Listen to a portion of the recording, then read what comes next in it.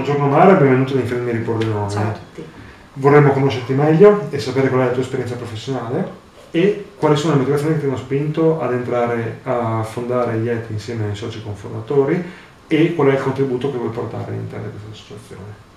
Beh, come hai già detto sono Mara, ciao, e faccio l'infermiera da 20 anni. Ho cominciato il mio primo lavoro in rianimazione che è stato il mio grande amore eh, ci ho lavorato parecchi anni, poi ho fatto una mini apparizione in malattie infettive, dopodiché sono tornata a lavorare nell'ambito dell'emergenza. Adesso sono con questo 13 anni che lavoro presso la centrale operativa del 118 di Vicenza. E, ehm, sono una socia fondatrice eh, della IET, l'unica femmina eh, di questi soci fondatori e sono orgogliosa anche di essere, di rappresentare il sesso che in realtà è sesso forte poi nel, per quanto riguarda l'aspetto infermieristico del lavoro. E il contributo che vorrei dare è innanzitutto portare quello che è l'entusiasmo per questa nuova avventura che abbiamo intenzione di intraprendere. E poi come secondo punto, eh, visto che sono tanti anni ormai che lavoro eh, al SUEM, eh, vorrei poter riallacciare e fortificare molte conoscenze e molte amicizie che abbiamo sia all'interno del servizio che con le strutture a noi afferenti, quindi con i pronti soccorsi della periferia, in modo tale da far crescere questa associazione. Vorrei poi sfruttare quello che è un, un lavoro che da tanti anni mi occupa e mi entusiasma, che è quello di fare docenza e poter contribuire anche in questa maniera perché IET venga conosciuta e che vada avanti. Proprio per quanto riguarda la docenza, eh, Cadafagiolo, volevo chiederti, all'interno del vostro statuto citate la formazione, secondo te quali sono tre aree tematiche di rilevanza importante che in questo momento sono essenziali per gli infermieri e che vorreste portare avanti come IET, come formazione per i colleghi? Direi che innanzitutto, eh, prima ancora della formazione, c'è la conoscenza reciproca e questa è di fondamentale importanza per abbattere barriere spesso comunicative che sembrano insuperabili, invece con un po' di informalità diventano facilmente superabili.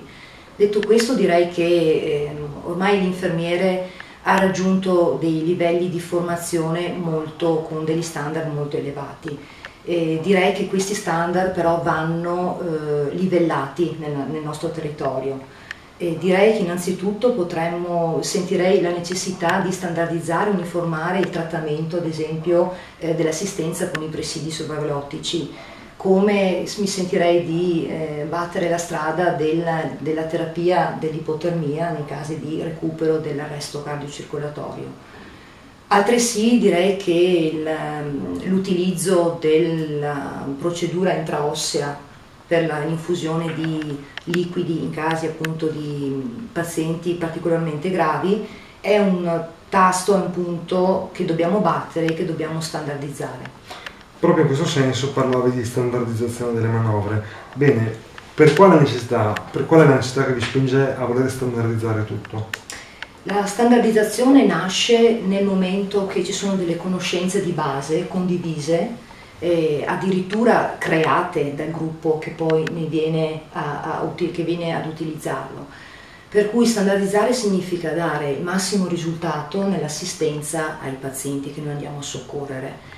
Standardizzare significa che io in centrale operativa so che cosa sta facendo il collega in periferia e viceversa e questo è assolutamente il punto cardine per essere vincenti nell'assistenza ai nostri pazienti. Infine passo alla seconda parte del vostro statuto, dove voi dichiarate di essere aconfessionali da, partici, eh, da partitici. Per quale ragione avete avuto voglia e desiderio di chiarirlo fortemente sullo statuto? L'abbiamo chiarito, l'abbiamo sottolineato perché la nostra associazione nasce soprattutto per diffondere la cultura la cultura non ha colore, non ha partiti e quindi abbiamo ritenuto opportuno sottolineare questo aspetto. Grazie Mara. Grazie a te. In bocca al lupo per questa iniziativa e ci vediamo il 26. Assolutamente, grazie a voi.